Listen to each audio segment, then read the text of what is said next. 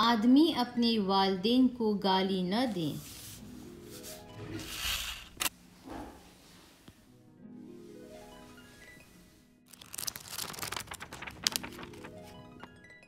उमर रज़ी अल्लाह से रिवायत है।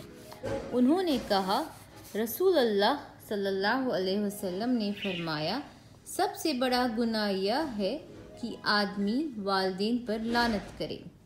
लोगों ने कहा वालदेन पर कोई कैसे लानत कर सकता है? आपने फरमाया, इस तरह कि वो किसी के बाप को गाली देगा।